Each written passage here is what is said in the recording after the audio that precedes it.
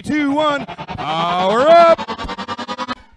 All right, in our first final match of the day, we have the best of the best out here on the field. Strike Force going up, cube in the scale, 60-90, going up, cube in the scale, code red, dumping two cubes in the switch. But Strike Force has that trick up their sleeve. They're gonna throw a cube into the scale, and it's gonna put them just barely ahead on the scale.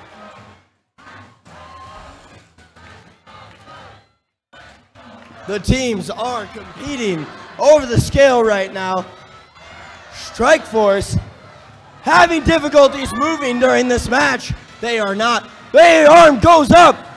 They get a cube on. They aren't struggling anymore. They come back into this match, but that gave Blue Alliance a little bit of time to start working on the scale. They're going to balance it back out. Strike Force, though, coming back with another cube. It looks like it's going to be a very close match, everybody. Everybody has their switch with three cubes. Everybody's fighting over the scale in the exchanges right now. The scale rocking toward the blue. The scale coming back toward the red. The scale rocking back toward the blue. Strike Force very impatiently knocking a cube down. That means the Blue Alliance is going to hold it for a second.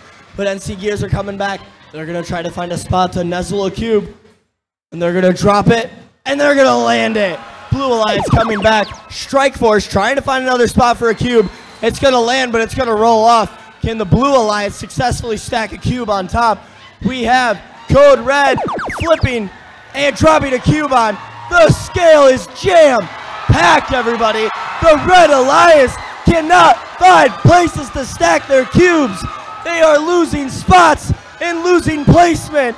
Strike Force tries to place a cube. It lands just barely. The scale is such an intense match right now, everybody.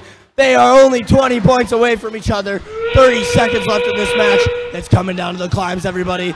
They are tied right now. The game is even. It's going to come down to the climbs. Who can do it? The match is very close. Nine point difference. But the Red Alliance does have the scale right now. We have two on the red. We have two on the blue. Who is going to take this match? Blue Alliance with the boost. It might bring them up to the top. It might be a trick play. They're going to bring themselves right behind them.